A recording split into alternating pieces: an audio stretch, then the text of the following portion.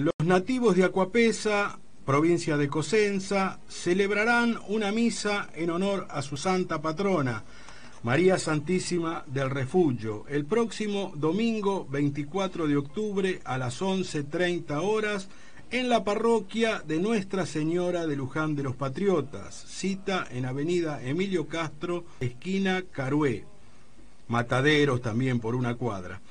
La comisión directiva de la Asociación Acuapesana invita a fieles, amigos y devotos a concurrir a esta misa.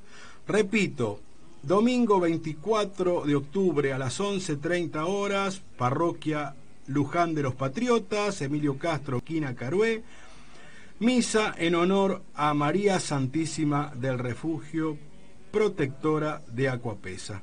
Los esperamos, los esperamos muy cordialmente.